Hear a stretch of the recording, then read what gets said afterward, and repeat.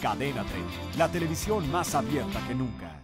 Este fin de semana fue identificado el cuerpo de María Santos Gorrostieta, exalcaldesa de Tiquicheo, Michoacán. Murió por un golpe en la cabeza. Esta mujer había sobrevivido a dos atentados, de los cuales Cadena 3 le informó a usted puntualmente. La persecución contra Santos Gorrostieta inició en 2009.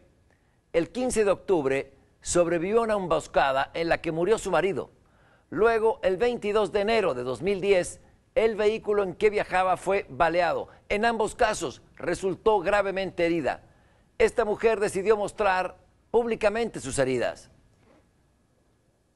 y a pesar de haber sufrido dos atentados, el gobierno de Michoacán le retiró la protección el 14 de noviembre pasado, apenas. Hoy María Santos Gorrostieta está muerta. Su cuerpo fue localizado el jueves en un predio del municipio de Cuitzeo. Fue identificado un día después. Desde hace un año, la expresidenta municipal de Tiquicheo, María Santos Gorrostieta, ya no contaba con escoltas proporcionados por la Procuraduría de Justicia del Estado, informó Marco Vinicio Aguilera Garibay, su procurador de Morelia.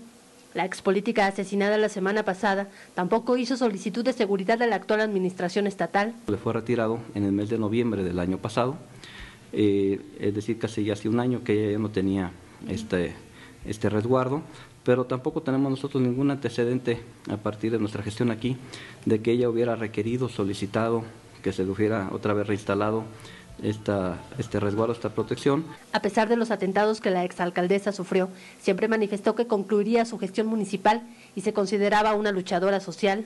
Muchas personas y, y, la mayoría de la población se ha preguntado, este, bueno, ¿por qué? ¿Por qué seguir al frente después de de tanto daño, tantas lesiones, tantos atentados. Pero pues este, ahora sí que antes que nada está la voluntad de Dios, está siempre por enfrente y está sobre, sobre todos, sobre todos nosotros y, y es eso, la voluntad de Dios.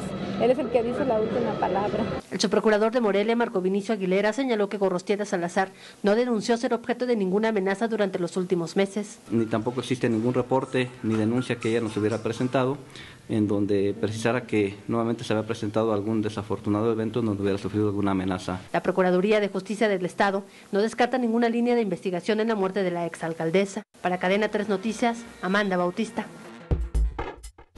Y ante estos hechos, la senadora panista Luisa María Calderón Hinojosa advirtió la posibilidad de que se registren más ataques contra presidentes municipales en Michoacán. Criticó al gobierno priista de Fausto Vallejo Figueroa por no tener una estrategia de seguridad que impida que los ciudadanos sean víctimas de la delincuencia.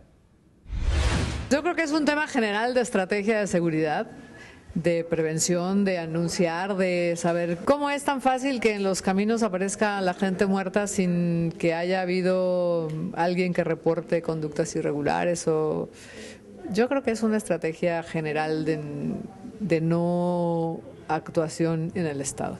Entérate de los últimos acontecimientos de México y el mundo en Cadena 3 Noticias.